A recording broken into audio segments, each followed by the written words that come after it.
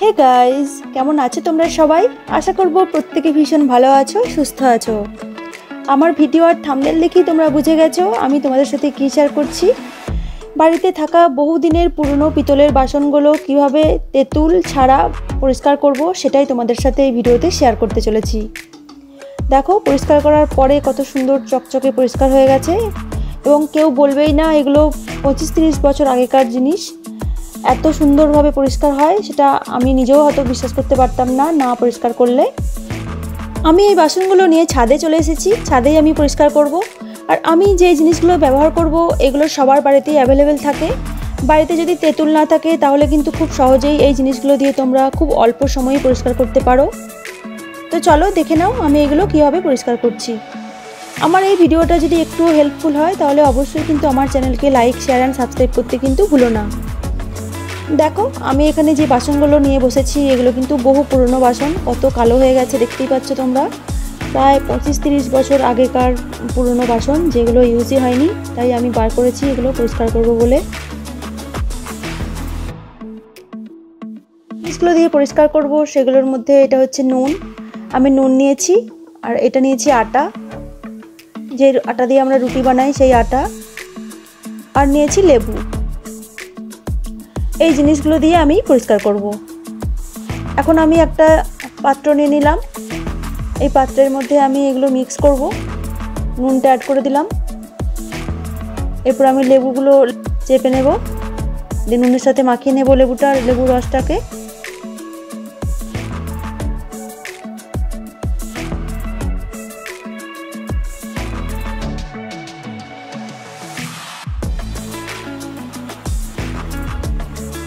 এরপর আমি ভালো করে মিক্স করছি। মিক্স করার পরে এবার আটাটা আমি মিক্স করে দিলাম। কিছুটা আটা আমি রেখে দিয়েছি। পরে যদি প্রয়োজন হয় তার জন্য। ভালো করে মিক্স করে এবার আমি যে পাত্রগুলো আমি পরিষ্কার করব, সেই পাত্রের মধ্যে ভালো করে মাখিয়ে নেব। এইভাবে প্রত্যেকটা বাসন আমি ভালো করে মাখিয়ে রাখব। মাখিয়ে আমি আধ ঘণ্টা রেখে দেব। আধ ঘণ্টা পরে ভালো করে মাজবো।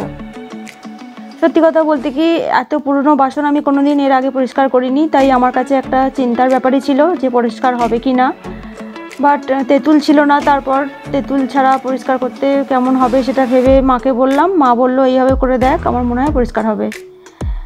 তাই মায়ের কথা অনুযায়ী আমি এটা ফলো করছি। তারপর কিন্তু দেখলাম খুব ভালো পরিষ্কার হয়েছে।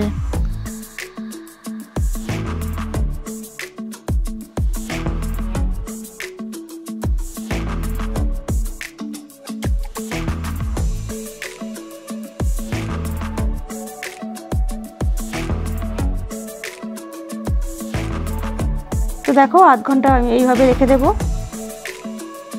আধ ঘণ্টা পরে আমি ভালো করে এবার মাজবো।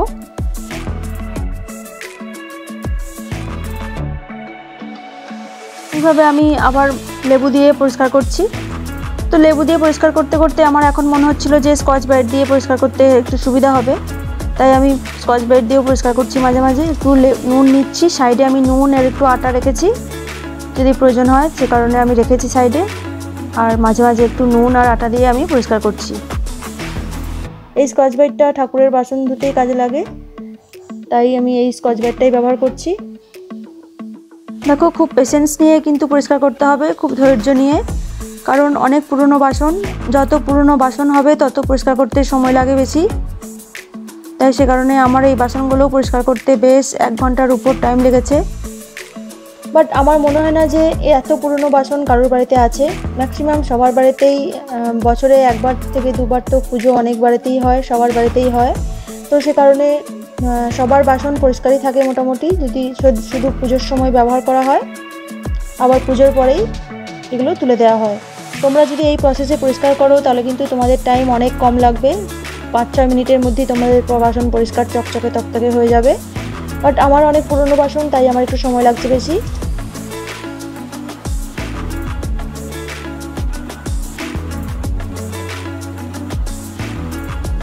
দেখো, আমার অনেকটাই পরিষ্কার হয়ে গেছে। এখন আমি স্কচ ব্রাইট দিয়ে ভালো করে ঘষে ঘষে পরিষ্কার করছি এবং এরপর আমি সাবান গুঁড়ো ব্যবহার করব কারণ বাসনগুলো প্রথমে ধুয়ে নেব জল দিয়ে, তারপর সাবান দিয়ে আমি পরিষ্কার করব। এই সাবানগুলো দিয়ে আমি ভালো করে স্কচ ব্রাইট দিয়ে আরেকটু পরিষ্কার করে নিলাম প্রত্যেকটা বাসন। দেখো, আমার অনেকটাই পরিষ্কার হয়ে গেছে। বড় যে গামলাটা দেখছ, এই গামলাটা কিন্তু আমি আজকে পরিষ্কার করিনি। এটা পরিষ্কার করতে অনেকটাই টাইম লাগবে, তাই আমি আর আজকে এটা পরিষ্কার করছি না, ওটা অন্য কোনো দিন পরিষ্কার করব।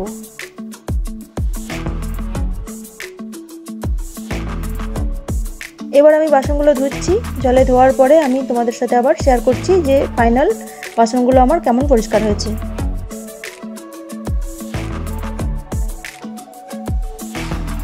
সো গাইস দেখো, বাসন কিন্তু আমার একদম পরিষ্কার হয়ে গেছে, চকচক করছে। এ বলে আমায় দেখ, ও বলে আমায় দেখ। যাই হোক, আমার কিন্তু খুব মজা হচ্ছে, কারণ অনেক ধৈর্য নিয়ে বাসনগুলো আমি পরিষ্কার করেছি। এতটাও যে পরিষ্কার হবে সত্যি আমি ভাবতে পারিনি।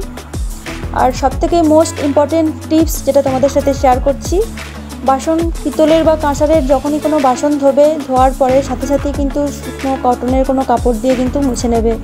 যেন জল না থাকে। কারণ জল থাকলে এর মধ্যে জলের একটা খুব বাজে দাগ হয়ে যায় এবং দেখতে ভীষণই খারাপ লাগে।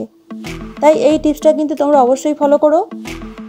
সো গাইজ কেমন লাগল এই ভিডিওটা? তোমরা কিন্তু অবশ্যই কমেন্ট করে জানিও। আর আমার বাসনগুলো কেমন পরিষ্কার হয়েছে সেটাও কিন্তু তোমরা জানিও। আর তোমাদের বাড়িতেও এই ধরনের বাসন যখন পরিষ্কার করবে, বাড়িতে যদি তেঁতুল না থাকে, তাহলে কিন্তু এই ঘরোয়া জিনিসগুলো দিয়ে তোমরা কিন্তু খুব সহজেই বাড়িতে ট্রাই করতে পারো। আর ট্রাই করে আমাকে কিন্তু অবশ্যই জানিও যে তোমাদের বাসনগুলো কেমন পরিষ্কার হয়েছে। আমার চ্যানেলে কিন্তু আরও অনেক রেসিপি ভিডিও আছে, অনেক ব্লগও আছে।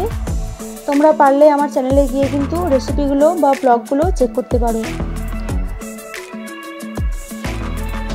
আমার এই ভিডিওটা যদি একটু হেল্পফুল হয়, তাহলে কিন্তু অবশ্যই আমার চ্যানেলকে লাইক শেয়ার অ্যান্ড সাবস্ক্রাইব করতে কিন্তু ভুলো না। আর আমার চ্যানেলের নতুন বন্ধু হয়ে থাকলে অবশ্যই আমার চ্যানেলটা ছেড়ে যাওয়ার আগে একবার লাইক শেয়ার অ্যান্ড সাবস্ক্রাইব করো। আর এইভাবেই তোমরা আমার পাশে থেকো। তোমাদের পাশে থাকাটা সত্যি ভীষণ ইম্পর্টেন্ট কারণ তোমরাই পারো আমার চ্যানেলকে আরও বড় করতে। তো চলো, আজকের মতন এখানেই বিদায় নিচ্ছি। আবার ফিরে আসছি নতুন কোনো ব্লগ নিয়ে। ততক্ষণের জন্য ভালো থেকো, সুস্থ থেকো, সবাইকে ভালো রেখো।